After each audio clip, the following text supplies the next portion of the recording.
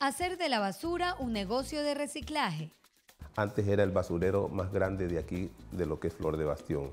Aquí tú encontrabas hueso de todos los animales que tú quisieras llevar a un zoológico. Educar y nutrir a los hijos de una comunidad. Me especializo en formar mujeres para el mañana y allí ellas adquieren un dinero para mejorar su situación económica y yo mejoro mi situación sentimental. Flor de Bastión como ejemplo de desarrollo comunitario. No te lo pierdas este miércoles a las 14 horas 20 por Ecuador TV.